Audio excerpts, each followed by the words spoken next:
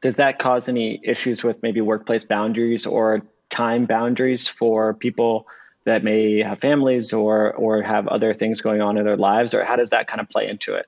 Yeah I, and, and that work life balance is extremely important and that's really what results only work environment does give you is so that i can go and coach my seven year old uh, at his soccer game at his soccer practice and, and, and still come back and finish what i need to do the night before.